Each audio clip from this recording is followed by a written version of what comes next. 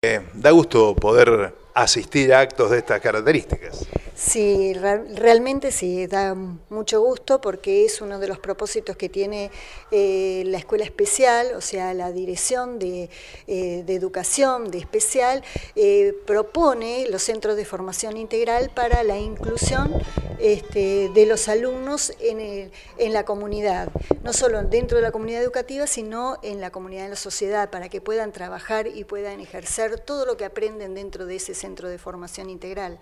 Y para ello se requiere de un trabajo comprometido, de, mucho amor de parte de los docentes, de mucha decisión y de mucha iniciativa, y el acompañamiento, por supuesto, de, toda la familia, la comunidad educativa, también la cooperadora, que lo ha hecho posible y siempre está detrás de las necesidades de la escuela, como también el Consejo Escolar y, por supuesto, a través del, municipio mismo. Este, este tipo de, de propuesta hacen fortalecer la enseñanza de la educación especial y se promueve uno de los grandes propósitos de, de la educación que es incluirlos en una sociedad con,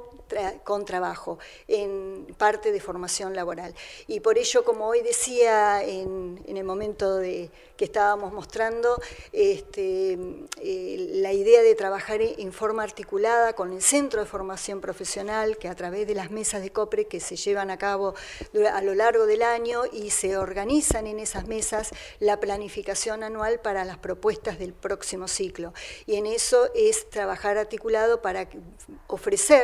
en parte eh, a toda la comunidad y especialmente también a, la educación especial, tanto a la Escuela 501 como la 502, eh, cursos de capacitación para que los chicos puedan formarse y fortalecerse, además de la labor que se, se lleve adelante en los talleres integrales que se desarrollan dentro de la escuela especial. Eh, hoy es posible, no solo a través de todo un equipo de trabajo, sino a través de la participación de ese proyecto participativo que tuvo mucho eco en la comunidad y que hizo posible eh, el llevar adelante esta fábrica eh, de pastas. Y que bueno, eh, con el hecho y la idea de una panadería que me decían, hoy no tenemos cosas todavía para, para probar, que hoy no tuvimos, pero yo he participado en muchas reuniones en las que los chicos han elaborado sus productos y la verdad que este, son de alta calidad. es por, por, ello que bueno, hoy tiene este espacio que, que pertenece a la Escuela Especial que se utiliza para el Centro de Formación Integral, pero que también se va, lo va a facilitar para esta asociación civil. Si bien eh, la escuela fue la que hizo la, propulsión a través de alumnos y de las, las mismas familias, es, eh, esto va a ser independiente totalmente de la escuela especial. Eh, por eso va a tener una, una, entrada independiente. Recién hablábamos con Mariela de poner una cartelería que diga la, la panadería, tal vez con el nombre que, que surgió en ese proyecto este, y siempre con el acompañamiento. Y además el hecho de tener estas instalaciones tan de, tanta calidad y con todas las condiciones que se requiere, desde bromatología y para poderse habilitar, también que pueda ser usado, eh, si es necesario, también, por ejemplo, por el Centro de Formación Profesional, para dictar los cursos, que vengan aquí mismo a poder dictarle a los alumnos el, el curso, tanto alumnos como otras que se quieran sumar a este proyecto de asociación civil eh, para poder llevarlo adelante. Así que bueno, eso es altamente significativo y no solo se articula eh, con el Centro de Formación Profesional, este año también hemos articulado con el Instituto de Formación Docente y Técnica, que a través de la carrera este, de Seguridad e Higiene, y bueno, con los alumnos que ya están en el último tramo de la carrera, este, hicieron prácticas profesionalizantes en la que están eh, haciendo eh, en cada una de las instituciones educativas,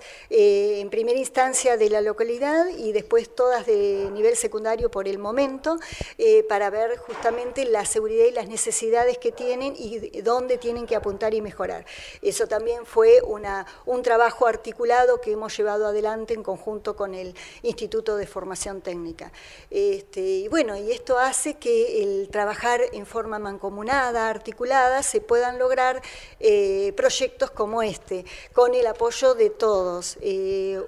uno solo no puede. Y la suma de, de muchos granitos de arena hacen este, lo que hoy está muy visible. Y por otra parte, hemos estado hablando tanto con Mariela como con la secretaria Gaby, que eh, en su momento estuvo como, eh, no solo como secretaria, estuvo como directora e inspectora. Hoy, eh, por otras razones, que su, la inspectora titular volvió, ella volvió a su cargo de base, la inspectora está con licencia y por lo tanto estoy a cargo de, de educación especial también. Entonces estamos haciendo el acompañamiento y ver, estamos programando, porque la comunidad, la familia y comunidad educativa está esperando la inauguración de, este, de este proyecto y obviamente del aula. Por eso que vamos a invitarlos en un futuro para que estén los protagonistas de los que van a llevar adelante este proyecto. Así que próximamente lo vamos a llevar adelante.